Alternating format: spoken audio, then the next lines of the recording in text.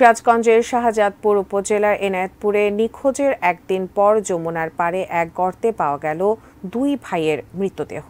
এরা হলো সাতবাড়িয়া গ্রামের রুবেল হোসেনের চার বছরের ছেলে আবু বক্কার ও তার খালাতো ভাই পাঁচ বছরের ইয়াসিন।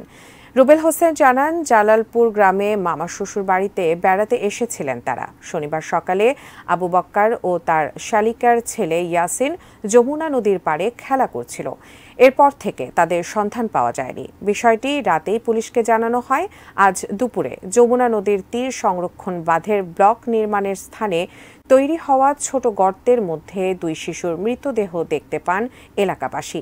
ধারণা করা হচ্ছে পানিতে ডুবেই শিশু দুটির মৃত্যু হয়েছে।